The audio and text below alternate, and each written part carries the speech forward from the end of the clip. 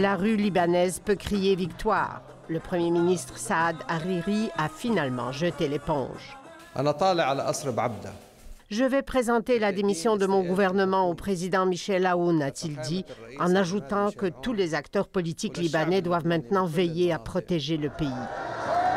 Paralysé depuis près de deux semaines, le Liban vit une situation sans précédent en 76 ans d'histoire. Les manifestants exigent non seulement la démission du gouvernement, mais aussi la fin de la corruption, la restructuration de l'économie et la déconfessionnalisation de la vie politique. La démission de Hariri, c'est la première étape dans la construction d'un pays démocratique, la première victoire, dit ce manifestant. Maintenant, nous devons commencer à penser à une seconde étape. Un taux de chômage chez les jeunes qui frise les 40 un quart de la population qui vit sous le seuil de pauvreté, le Liban est parmi les pays les plus inégalitaires au monde et parmi les plus endettés. Infrastructures déficientes, coupures constantes d'électricité et d'eau, les Libanais en ont eu assez. Par-delà les religions qui les ont souvent séparés, ils se sont donné la main. Chaque fois que vous avez un million, deux millions de personnes dans la rue, c'est une façon de mesurer sa force. Or, je vous rappelle, les Libanais, hein, c'est 4 millions de personnes.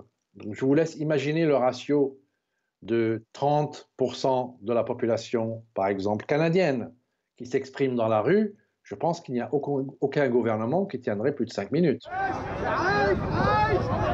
Mais le pays qui a connu une guerre civile longue de 15 ans n'est pas à l'abri d'une explosion de violence.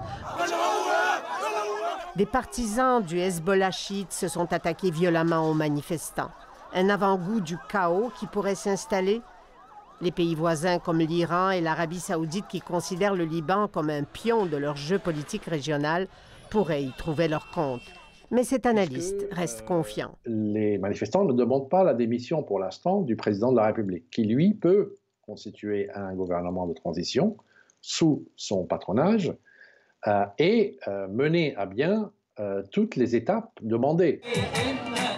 C'est l'espoir des centaines de milliers de Libanais qui, depuis 13 jours, non seulement revendiquent des changements, mais célèbrent leur fraternité.